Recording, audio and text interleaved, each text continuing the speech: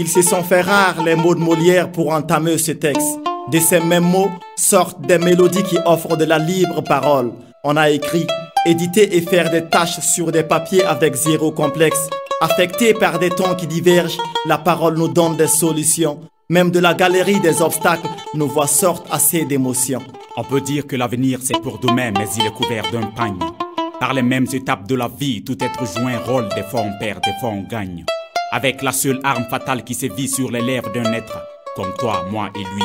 Au cœur des vallées de la foi, Africanda marche dans la peur des hommes de la nuit. La tête haute, nous voici entre les fruits, défendus via la solitude et la nuit. Donneur des leçons, elle sait que seul l'ignorant prononce un mot qu'il ignore. Demain reste pour nous un effroi. Nos efforts donnent la parole à nos plumes.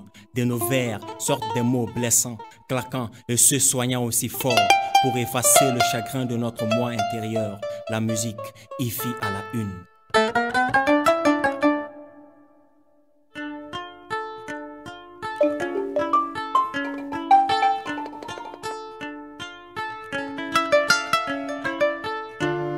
De ce même vers naît des mots vexants, piquants, des mots tendus et des mots doux. Jadis, tout ceci n'est qu'un début. Avec regret, on ramollit la charge devant un public. Avec des mots qui éduquent, qui persécutent, qui exécutent et ceux qui excusent. De nos cœurs gais et gros, on suit sans suivre en vrai les mots qui compliquent, ceux qui vivent. Des mots perplexes, des mots heureux et ceux qui rendent fous. Fou on est, seule la parole émancipe tout. Celle de l'intérieur est réfléchie et même.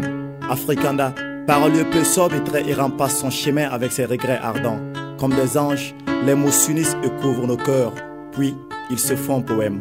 D'une seule voix derrière un micro s'enveloppe une mélodie qui a tout d'une sérénade.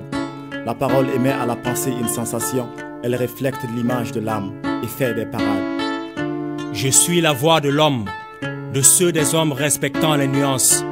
Seul votre pardon après cette narration nous fera taire. On touche les instances. L'être s'entraîne et s'enseigne, puis mène ses vers hors du silence. Désormais, que la lumière soit. Je suis la voix du slam. En son nom, on vous ouvre toutes nos airs. Dans l'instant, on avoue des choses qu'on n'a jamais pu vous dire avant ces vers.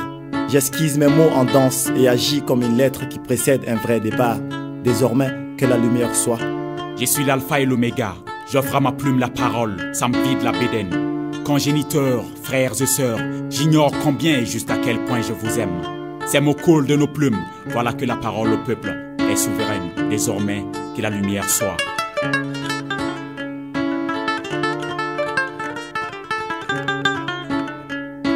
Elle seule apaise la colère. Imagine et admire-la sur les lèvres d'une reine. Avec ferveur, on vous dit en face nos délires, nos secrets et même ceux qui traînent. On se cache pour écrire tout ce que nos langues ne sauront dire, y compris nos haines. La parole est une pensée extérieure et la pensée est donc une parole intérieure. Elle est la demeure de l'être. Les mots font plus de traces dans le cœur qu'un foreur. Elle, sous nos plumes, laisse des tâches pour nos camarades avec qui on a tout dit. À nos mères, nos amis fidèles et proches depuis d'Islam avec qui on a réparti les récits. À l'endroit de Marc la gâchette, Hannibal, Lorobi et Davis, on place un salam du fond du cœur. La parole est le trésor du corps, d'une accalmie profonde, elle s'endort. Être immobile, c'est être sans expression. Elle se vit même sous les marbres. L'écrivain cède à son œuvre la parole. L'orateur cogite, suit sa voix à tort. Écris une sage parole, ton nom vivra et tranchera aussi qu'un sabre. Sans fin, la raison et la parole unissent les hommes sous l'ombre. Même dans nos familles, la violence commence là où elle s'arrête. De plus en plus large, elle a une vision claire sous les pénombres. Elle se le sortoie parfois et en vrai ce que la calme rejette. Africanda trouve son souffle dans la libre parole et aussi du silence. L'écriture est la racine des mots, la raison de la quiétude, le mur de confiance. La parole est l'ombre de l'action, elle est le menu bois de toutes les attirances. Peut-être prophète, celui qui vit la parole dans l'image. L'homme est parole, son silence sans pareil joue un rôle. Peut-être appelé sage, celui qui voit une idée dans la parole. L'homme est âme, par ce slam, acceptez nos salams. Les chants en cœur ou sang sont à la parole comme la peinture est au dessin. L'écriture est une parole libre maquillée par l'image de la réflexion. L'homme est lié à sa parole comme l'animal est lié à son instinct. Plus un homme devient sage, moins il cherche à prendre la parole.